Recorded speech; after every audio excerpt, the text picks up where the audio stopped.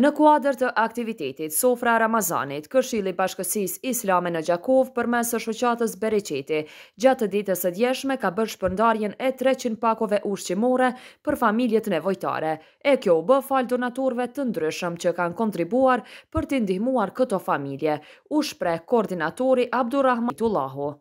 Falë Zotit dhe pastaj falë jush bamirsa, u bo shpërndarja treqind pako ushqimore në prag të festes së madhe që po na vjen, Ramazani i bekuar. Lusim Zotin Fuqiplot t'ju shpërndej të shpërblejë me të mirat e tij, bamirsat nga Gjakova, bizneset tona që kemi vendore, xhematlitë tanë, kolegët e mi dhe veçanti diasporën. Treqind pako u mledhën për një kohë rekorde, për një kohë shumë të shkurt.